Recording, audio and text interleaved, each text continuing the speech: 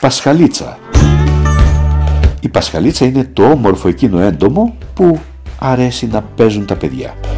Είναι ένα είδος κανθάρου. Τα σκληρά και γυαλιστερά φτερά της πασχαλίτσας είναι κόκκινα με μαύρες βούλες.